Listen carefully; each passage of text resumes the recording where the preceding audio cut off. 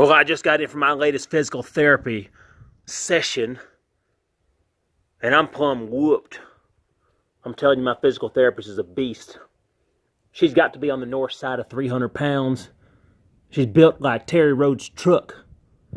She's like a female version of Dwayne Johnson that ate the actual Dwayne Johnson.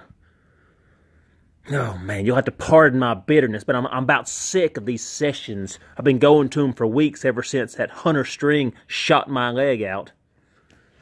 Anyway, so I get in and I go down and check my mailbox and find an invite to the Daniel W.T. Trailer Park Barbecue. Woo!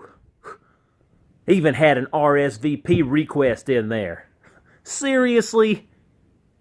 Really, seriously, very pissed.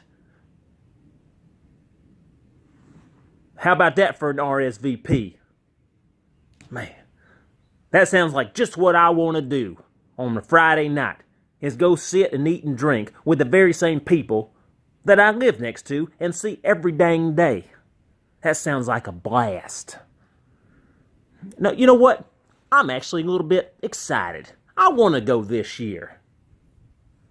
Ever since Sally Ann run off with the very same man that runt my leg by shooting me, yeah, I'm looking forward to seeing the two of them together in public if they got the guts to show.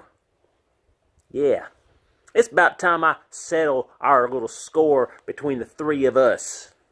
Mm-hmm. Yeah, they're gonna get theirs. oh yeah, you just wait. Oh. Anyway, I forgot what I was gonna say, but I actually feel a little bit better after getting that out of my system. Listen, y'all should come on down and just have a good time and enjoy the food and drink, if nothing else. Uh, even if things don't go according to my plans, uh, you know, you're bound to have a good time.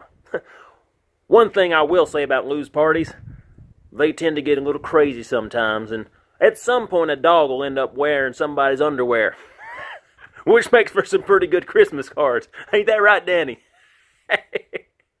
Seriously. Now, y'all need to come out. I'm serious.